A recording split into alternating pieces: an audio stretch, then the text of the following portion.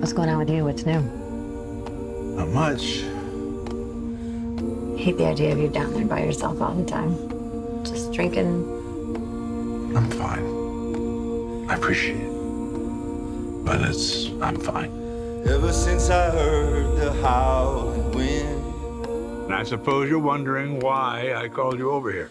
I didn't need to go where a Bible Our basketball coach had a heart attack the other night. We need a new coach, Jack. And you know your gifts seem heaven sent. Is the team any good? No. The last time we made the playoffs, back when you were playing. Lead me to Let's go, line up. You're Marcus, right? That's right. How many threes did Marcus make last year? A percentage of 26. You want to know why they're leaving you open? It's because they don't think you could hit the ocean from the beach. Yo, he just spit facts at your ass, bruh. I don't know how you liking coaching so far? Great. Just getting used to the players. What players? I was never sure how much of you I could let in. I heard you're coaching basketball. Yeah. Keeps me busy. Keeps my mind off other things, you know.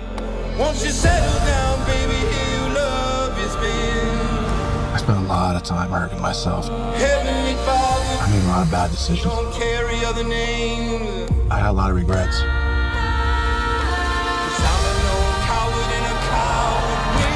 Win. On the line. I want you taking that shot. Why is that so hard for you to believe? What? That you're the best player on the team. Some goddamn fear. I know you're suffering. I just want you to be happy again. But you gotta want it too.